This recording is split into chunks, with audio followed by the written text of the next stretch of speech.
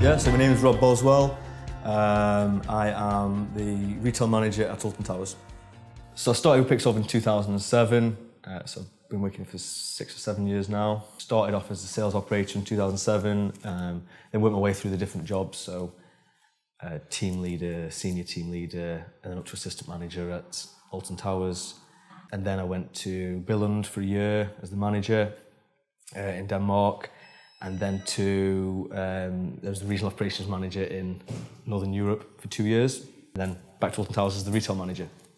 Yeah, it's brilliant. Really good. Um, I really enjoy the the culture, the atmosphere. It's a very relaxed place to work, but very professional. Uh, working very passionate people. You know, really, really a lot of enthusiasm, energy. Just not just at head office, but you know, at every single site. Working at theme parks, obviously, you know, it's a, a lot of kind of drive and, and motivation just just from working there.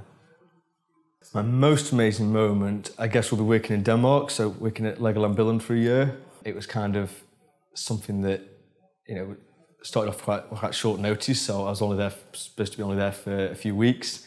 And then it kind of, because I liked it so much, I was there for an entire year.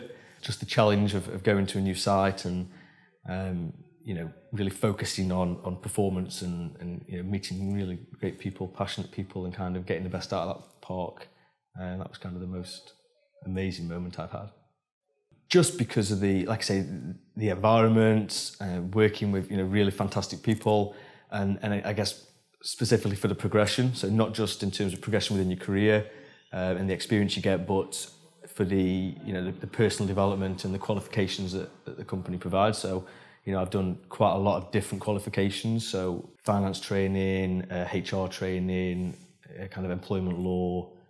Um, strategic leadership qualification, everything like that. You know, it's, it's the it's the qualifications that they kind of invest in people and and you know, personal development as well as professional development as well. So.